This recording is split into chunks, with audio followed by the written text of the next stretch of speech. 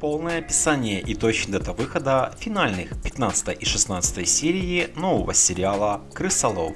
Финальные серии сериала выйдут на интернет-площадке Start.ru 17 августа.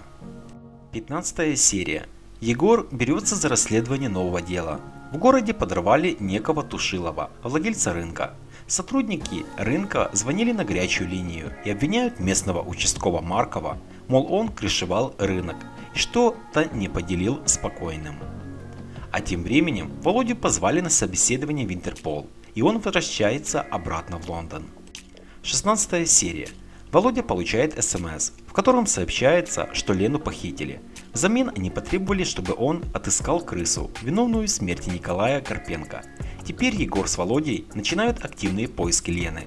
Они пробили ее телефон. Сообщение было отправлено рядом с ее домом.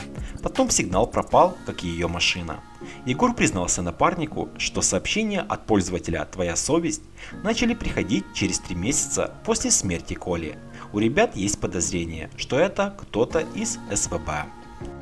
Напомним, финальные серии сериала выйдут на интернет-площадке Start.ru 17 августа.